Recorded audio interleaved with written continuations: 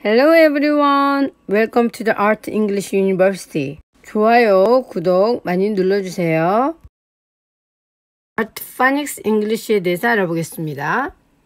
이 수업은 여러 명이 한 반에 수업하는 영어 수업이 아닙니다. 창의적인 미술 수업을 병행하기 때문에 3, 4명 혹은 2, 3명이 한 클래스를 이루며 이 클래스에서는 알파벳의 음소를 인식하며 보다 더 창의적이면서 쉽게 알파벳과 단어를 인지합니다. 특징으로는 easy, 아이의 눈높이에 맞추고요. fun, 만들고 그리는 조용 활동이 함께 하고요. learn, 소수 수업을 보다 집중도 있게 파닉스를 배우고 있습니다. 실제 예를 들어서 한번 보겠습니다. 지금 현장에서 B, 버블에 대해서 지금 공부하고 있으며 지금 버블을 만들어가면서 버블이 뭔지 실제 체험하죠.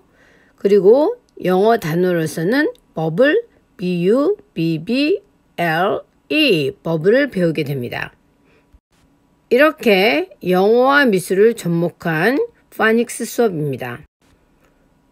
파닉스 수업을 마치고 어, 영어 수업으로서 버블을 알파벳을 배우고 단어를 익히고 소리를 만듭니다.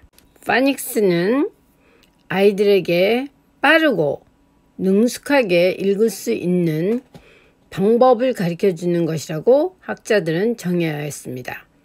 파닉스는 인간의 언어의 소리와 물리적 속성이 연구되는 언어학의 한 분야입니다. 파닉스 아트를 통해 어린이들은 창의적이고 또 언어에서는 언어 능력을 향상시킬 수 있는 기회를 갖게 됩니다.